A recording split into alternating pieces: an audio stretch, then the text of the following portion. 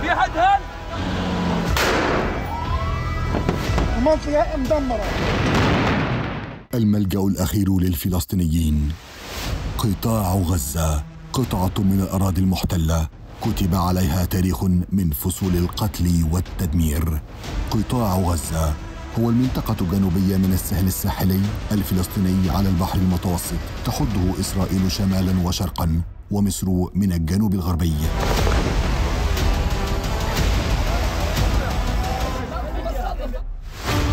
كان قطاع جزءا من الإمبراطورية العثمانية قبل أن يخضع للاحتلال البريطاني في 1917 وبعد النكبة في 1948 فر إليه الفلسطينيون من الأراضي المحتلة.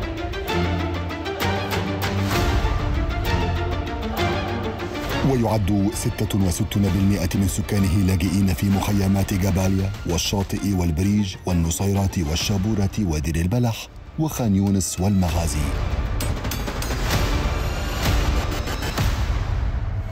وفي عام 1967 احتلت إسرائيل القطاع وأنشأت 21 مستوطنة وحاولت طرد الفلسطينيين منه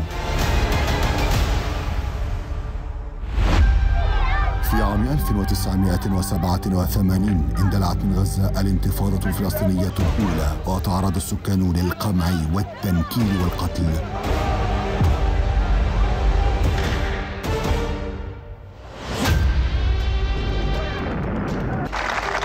وبعد اتفاق أوسلو عام 1993 خضع جزء كبير من القطاع للسيطرة الفلسطينية.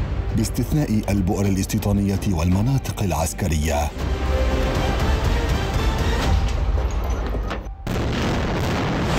ثم شارك سكان القطاع في الانتفاضة الفلسطينية الثانية في سبتمبر 2000 وقررت إسرائيل الانسحاب منه وتفكيك المستوطنات في عام 2005 وحينها أجرت السلطة الفلسطينية انتخابات فازت فيها حركة حماس وسيطرت على قطاع غزة في 2006 ففرضت إسرائيل حصارا بريا وبحريا وجويا كاملا يمنع الأشخاص والبضائع من الدخول أو الخروج. ومن حينها ينفذ جيش الاحتلال العديد من العمليات العسكرية التي يقضي فيها على الأخضر واليابس. ففي 2008 نفذ عملية الرصاص المصبوب. استخدم فيها أسلحة محرمة دولية مثل الفسفور الأبيض واليورانيوم المنضب. راح ضحيتها 1430 شهيدا فلسطينيا. وعملية عامود السحاب في 2012 استشهد خلالها 180 فلسطينيا. وعملية الجرف الصامد في 2014 التي نفذ جيش الاحتلال خلالها 60 ألف غارة أسفرت عن استشهاد 2322 فلسطينيا. وفي 2019 شنت إسرائيل غارات على القطاع استشهد خلالها 34 فلسطينيا.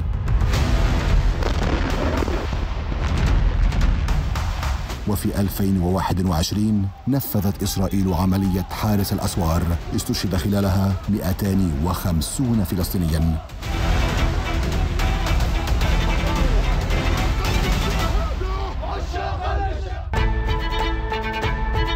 أرض غنية صالحة للزراعة وتملك احتياطيات الغاز البحري التي تقدر بنحو 35 مليار متر مكعب.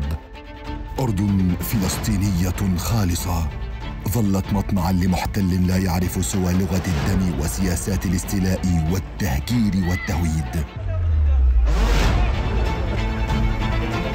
كي يحولها لواحدة من مستوطناته ينهل من خيراتها ويكسر إرادة شعبها إلا أنها غزة الصامدة.